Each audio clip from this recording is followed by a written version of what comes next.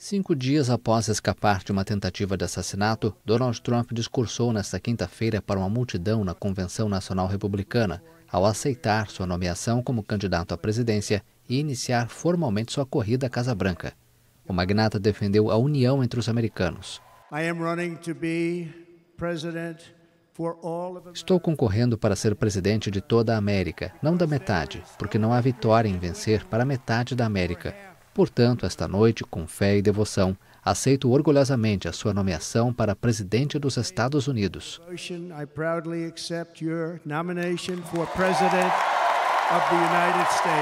O membro da plateia que foi vítima dos disparos ocorridos no ataque contra Trump na Pensilvânia, o bombeiro Corey Comperator, foi homenageado com um minuto de silêncio.